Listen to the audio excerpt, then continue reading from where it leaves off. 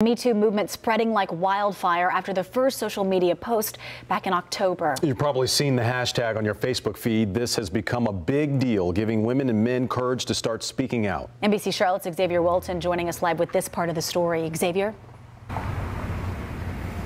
Sarah, that social media firestorm really started about a month ago, and since then it's really been picking up steam. Nowadays, you can't go really on any device or any so social media platform without seeing a post involving Me Too. One symbol, five letters, hashtag Me Too. What you're seeing on your screen is far more powerful than a trending hashtag, and its strength stretches across the globe.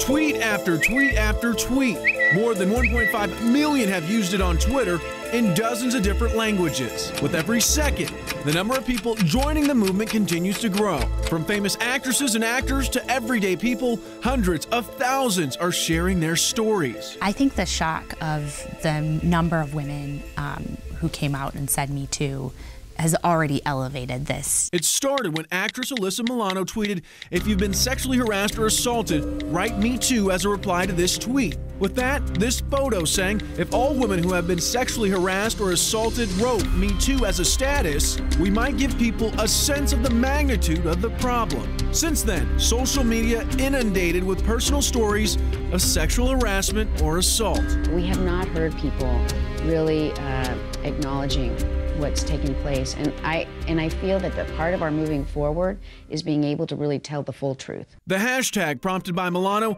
also calling on men, either with their experiences of being harassed or in solidarity against inappropriate conduct, to come forward. Comedian Nick Jack Pappas, following Milano's lead, tweeting, Men, don't say you have a mother, a sister, a daughter.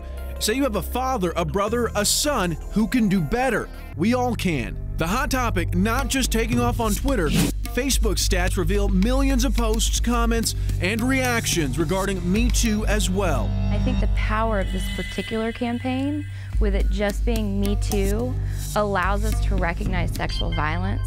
So, a step in the right direction, but just the beginning of a long journey to change a culture.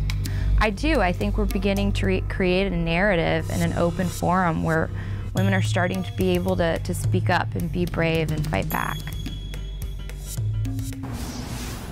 And right now, Me Too is one of the most popular searches online. The people I spoke with really say that this is just the start of a revolution. Reporting live, Xavier Walton, NBC Charlotte.